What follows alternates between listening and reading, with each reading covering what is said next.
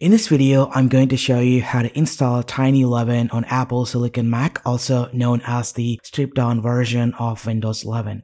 Tiny 11 provides all the necessary features for a comfortable Windows 11 experience without the unnecessary bloat and clutter of its standard installation. To install Tiny 11 on Apple Silicon Mac, we will be using a VMware Fusion as it's the only method available for installing Windows 11 on M1 or M2 Mac using a virtual machine for free of cost.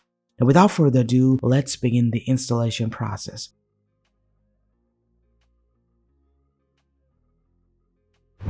Now this guide applies to any Apple Silicon Mac. For this demonstration, I will be using a base M1 MacBook Air running macOS Monterey. Now please note that you have at least 60 GB of free space on your Mac to ensure a smoother installation experience. Once it's done, head over to this link and download Tiny 11. Just go ahead, download the ARM64 version of Windows 11. It's always recommended to use a torrent to download Tiny 11 which is much faster. Next, head over to this link which will take you to this page and download VMware Fusion. VMware Fusion is free for personal use, although a premium version is available for purchase based on your needs. Just go ahead, scroll down and click on register for a personal use license. If you don't have an account, just go ahead create one. If you do have an account, just go ahead and log in. Once you are logged in, navigate to the download section where you'll find that VMware Fusion is available for both Intel and Apple Silicon Mac. Just go ahead, copy the license key and download the DMG file.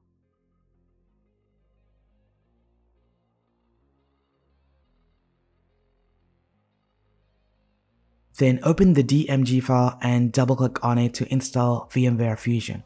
While installing it, you may be prompted for permissions and will also need to activate VMware using the license key.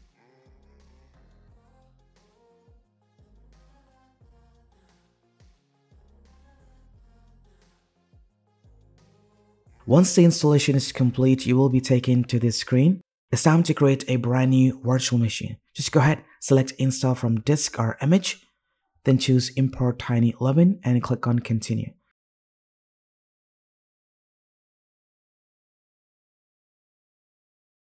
Now choose UEFI and unselect the Secure Boot option. VMware Fusion supports a virtual TPM and you must encrypt the virtual machine. Just go ahead set a password to encrypt the virtual machine and click on continue. You will then see a summary of the virtual machine. By default, 64 GB of free space is allocated, but you can expand it later if necessary. Then choose to customize settings and name the virtual machine, then click on save.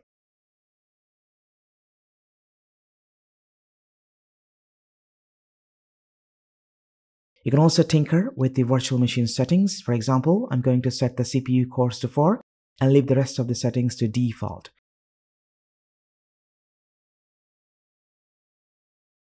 You can also expand the storage space of the virtual machine using this setting.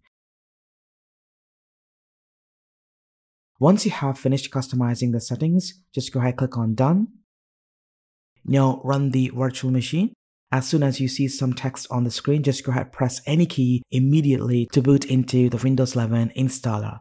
Now keep in mind, when you tap inside a virtual machine, the cursor will be bounded to the guest OS. To release, press Ctrl plus Command to get the control of the cursor back to the host OS. Now you can see the Windows 11 setup screen. Just go ahead and follow the instructions and choose to install Windows 11.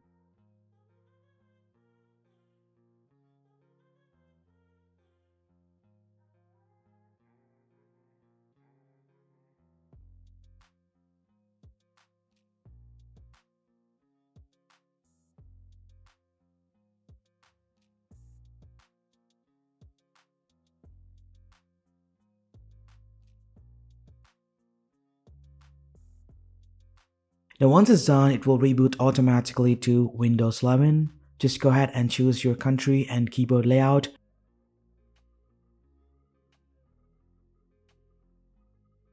Then click on I don't have internet, agree to the terms and conditions, then create a user account and finish setting up Windows 11.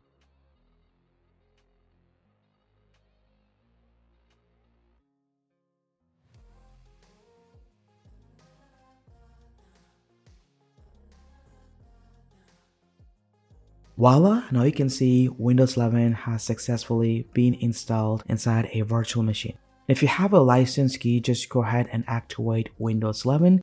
If you don't, you can run Windows 11 for a few weeks until the trial period expires. Now as you can see, Windows 11 runs super fast. Compared to the standard version, you can feel the speed of Windows 11 thanks to the Tiny 11 update. Then head over to the menu, choose the virtual machine, and then select reinstall VMware tools. You can see it has mounted successfully. Now open the search bar, type PowerShell, and choose to run it as administrator. Inside here, type this line and make sure you type exactly what you see, which is a case sensitive. Now this allows for the execution of the VMware tools. Then go ahead and open the drive.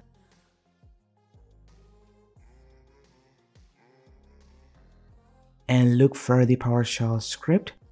Just right click and choose to run with PowerShell. Now this will fix all the issues with sound, graphics, and the internet.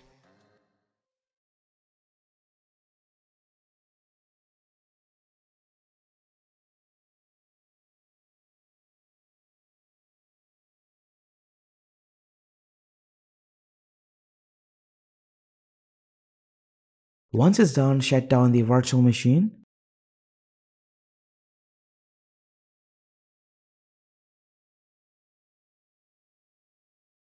Then go ahead choose menu bar, select window and virtual machine library. Now select the Windows 11 virtual machine and click on settings, then choose CD or DVD and disconnect. Now this will unmount Tiny 11 ISO. Once it's done, turn on the virtual machine.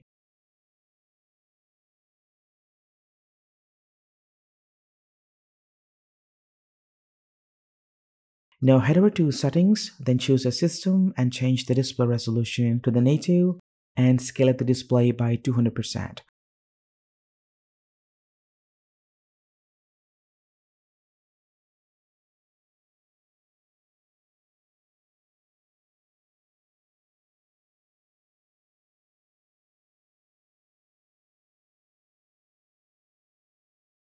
Now we can see Windows 11 uses the full screen resolution of Mac.